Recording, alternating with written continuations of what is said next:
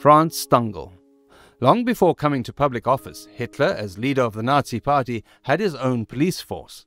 By the year 1933, this private army contained 400,000 men, which was four times more than the number of soldiers the entire country of Germany was allowed under the terms of the World War I peace treaty. These fanatical men, who swore their loyalty not to Germany but to Hitler, arrested and beat people at the slightest provocation. They provoked crowds into rioting against Jewish shopkeepers and damaging Jewish property.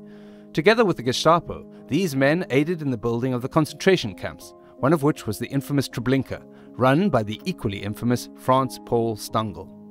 Franz Paul Stangl was born in Altmünster, a town located on the western shore of the Traunsee in Upper Austria, on the 26th of March in 1908. When Stangl was only eight years old, his father died of malnutrition, and later his mother remarried to a widower. After leaving school at the age of 15, he became a weaving apprentice.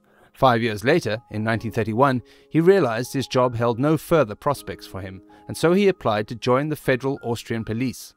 After being accepted and following a year's worth of training at the police school in Linz, he served his probation with the riot squad. In the year 1935, he was transferred to the Criminal Investigation Department in a small Austrian town named Wels, and a year later he became a member of the then illegal Nazi Party. Following the Nazi annexation of Austria in March 1938, Stangl's department became absorbed into the Gestapo, and Stangl was promoted to the rank of Kriminaloberassistent under the supervision of George Prohaska, a Bavarian police officer. On the 3rd of November in 1940, he joined the T4 euthanasia program. He joined under the order of Nazi leaders and was appointed as the head of security at Hartheim Castle. At the time, Hartheim was one of the secret killing centers used by the authorities to administer what they claimed were mercy deaths to sick and disabled persons. A special unit within the German administration, which held the code name T4, carried out this euthanasia program. T4 employed doctors, nurses, lawyers, and police officers, among others such as Stangl, at killing centers in Germany and Austria. In total, historians estimate that the staff at Hartheim killed 18,269 people by August 1941. By the early spring of 1942, Stangl was ordered to report to Lublin and was given the command of the Sobibor death camp in eastern Poland. Stangl was in command when the camp received their first Jewish transports in May 1942. Stangl used his weaving skills to sew himself the famous white linen uniform, which later gave him the nickname White Death. He preferred to wear his handmade uniform due to the amount of insects, as well as the heat in the Sobibor and Treblinka camps during the summer. In August 1942, Stangl was transferred from Sobibor to Treblinka to take over the command of the camp from Dr. Eberl. Treblinka was a camp which had the sole purpose of extermination. It was only 50 miles from the large city of Warsaw. Treblinka opened on the 23rd of July in 1942, primarily for the resettlement of the Jews in the Warsaw ghetto.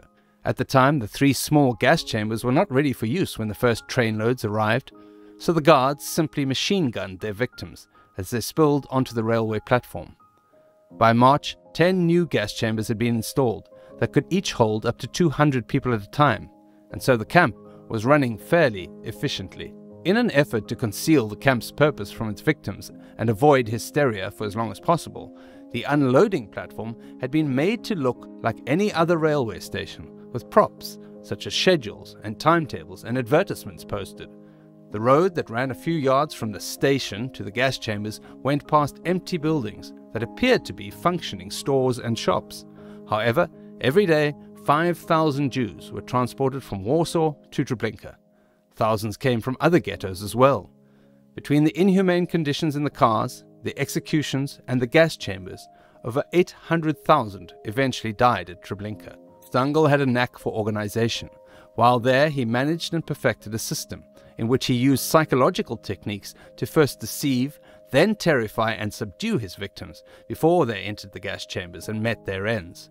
In less than 18 months, under Stangl's supervision, between 870,000 and 925,000 Jews were killed at Treblinka. Throughout this, he maintained very little contact with the victims he sent to their deaths or the Jewish prisoners, and was rarely seen. He received an official commendation as the best camp commandant in Poland. And then came the revolt. As the rumors of Russian advances filtered into the camps, the inmates began to grow restless. When the processing of people through the death camps slowed, The prisoners who remained alive sensed that their usefulness to their captors was coming to an end. The possibility of liberation was not nearly as strong as the certainty that the SS would leave no witnesses to their deeds. Many prisoner revolts were spurred by a mix of hope and desperation. They were all crushed, but they did hasten the closing of some camps. At Treblinka, around 100 internees formulated a plan, not just for escape, but for takeover and destruction of the camp. A number of the block leaders and foremen agreed to participate. They knew the Nazis would not spare their lives when the camp was inevitably closed. The attack was carefully and precisely plotted. Weapons would be available because a prisoner locksmith had worked for several months making a key to the camp arsenal where rifles and grenades were stored. Everyone was given a role. Some were to shoot the sentries in the watchtowers, others to overpower the guards in the camp. Some were to cut the telephone lines, others the wire fences. Some were to set certain buildings on fire. Timing was of the utmost importance. At 4:30 in the afternoon, the guards would be tired. Prisoners also would have had enough daylight to carry out their revolt as well as the cover of darkness to aid for their escape. It was crucial that everyone act at once, catching the guards totally by surprise. The signal to begin would be a single rifle shot, and so on the 2nd of August in 1943, prisoners seized arms, set camp buildings on fire, and attempted to escape using the main gate. Despite facing machine guns, several hundred prisoners were successful in breaking out of the camp. Unfortunately, more than half were later traced and killed by Nazi authorities. The revolt brought operations at Treblinka to an end. Prisoners who had not managed to escape Treblinka during the revolt were then shot by camp authorities. Afterwards, the camp, which had suffered extensive fire damage, was dismantled and evidence of the camp destroyed. Only 67 people are known to have survived the camp, and their testimony provides much of what is known about the camp. After the Treblinka revolt, Stangl was sent to northern Italy, where he spent a short period of time at the San Sabba camp in Trieste. While there, he engaged in construction projects and actions against partisans and Jews. When the war ended, he fled to Austria, where he was interned by US forces because of his association with the SS. Starting from the summer of 1947, he was imprisoned in Linz, but escaped. In the year 1951, like many former Nazis, he migrated to Brazil with his family, and while in Sao Paulo, he worked in the Volkswagen factory. It was not until mid 1960 that the Nazi hunter, Simon Wiesenthal, discovered Stangl's whereabouts. Simon Wiesenthal, who was a survivor of the Nazi death camps, had dedicated his life to documenting the crimes of the Holocaust, as well as to hunting down the perpetrators who were still at large, such as Stangl.